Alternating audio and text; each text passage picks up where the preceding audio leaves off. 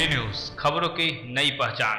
धनबाद के झामडा कार्यालय के समक्ष झामडा कर्मचारी 44 महीनों का बकाया वेतन को लेकर बैठे दो दिवसीय धरने पर लगातार आंदोलन। झामडा कर्मचारियों की सुनने वाला कोई नहीं। 23 मई 2019 को ही बैठक कर झामडा कर्मचारी 15 जून से हड़ताल पर जाने की घोषणा की थी, लेकिन इस हड़ताल की घोषणा से झामडा के सीएमडी को कोई फ़र्क नहीं पड़ा, जिसके कारण झामडा कर्मचारियों ने अपनी नौ सूती मांगे को लेकर 15 जून से अनिश्चितकालीन हड़ताल पर जाने की घोषणा कर दी है प्रबंधन खोलो का हो गया जुल्म के चक्कर में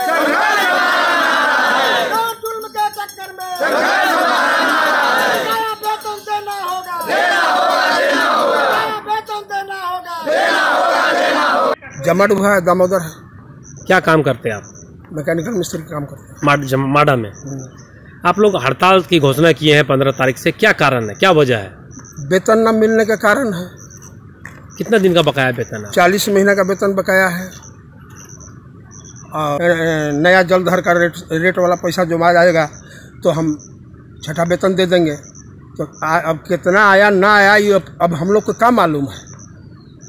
लेकिन टीएम साहब एक महीना का वेतन भी जो देने के पेपर में निकाल दिए कि एक महीना का वेतन हम कर्मचारी के खाता में चला जाएगा सोमवार के दिन। सोमवारे सोमवारे आठ दिन हो गया।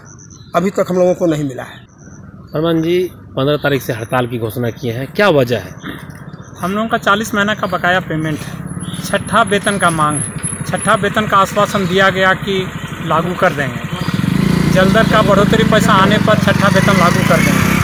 तो छठा वेतन अभी तक लागू नहीं किया। जलदर का बढ़ोतरी पैसा आ गया लेकिन हम लोगों को अभी तक छठा वेतन नहीं मिला। चालीस महीना का बकाया पेमेंट जिससे हम लोग बाध्य होकर हड़ताल करने जा रहे हैं पंद्रह जून से। मनोज जी पंद्रह तारीख से हड़ताल की घोषणा की गई है माडा का। क्या कारण है?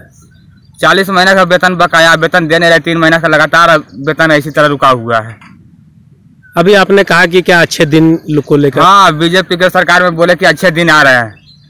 और हम लोग वोट भी दिए बीजेपी को वोट दिए कि अच्छे दिन आएगा। हम लोग का कल्याण होगा। क्या कल्याण होगा? फिर चार महीना के बाद इलेक्शन आएगा लॉलीपॉप दे रहे हैं कि हाँ ये तीन सौ करोड़ आ रहा है, चार सौ करोड़ आ रहा है। पूरे नगर निगम में बता रहा है कि समूचे पीएचडी हुआ, मैथन हुआ सिंदरी हुआ, समूचे माडा ही चलाएगा। खाली माडा चलाएगा, कुछ उसको दिया जाएगा?